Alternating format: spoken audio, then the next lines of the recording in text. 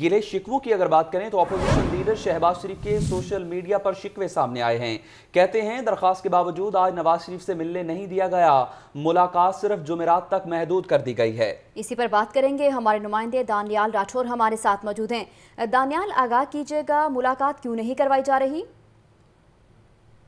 آخر مسلم لیگ نون کے پارٹی صدر شہباز شریف جو کہ اپوزیشن لیڈر قومی اسمبلی ہیں وہ بھی بول پڑے ہیں۔ پہلے تو ان کی صاحبزادی نواز شریف کی مریم نواز ہی اظہار جو ہے گلا کرتی رہتی تھی اور شکوہ کا اظہار کرتے ہوئے کہتی تھی کہ نواز شریف سے ملاقات کی درخواست کر رہے ہیں، مگر ملاقات نہیں ہو رہی۔ آج نواز شریف کے چھوٹے بھائی شہباز شریف نے بھی اس بات کا کھل کے اظہار کر دیا ہے سوشل میڈیا پر اپنے ٹویٹر اکاؤنٹ سے ٹویٹ کرتے ہوئے ان کا کہنا تھا کہ دو تین بار جو ہے، ہفتے میں ملاقات ہو جاتی تھی، مگر درخواست کرنے کے باوجود آج پھر جو ہے نواز شریف سے ملاقات کی اجازت نہیں دی گئی۔ اور نواز شریف سے جو ملاقات کا مختص دن ہے، جمعرات، اب ملاقات صرف جمعرات تک ہی محدود ہو کے رہ چکی ہے۔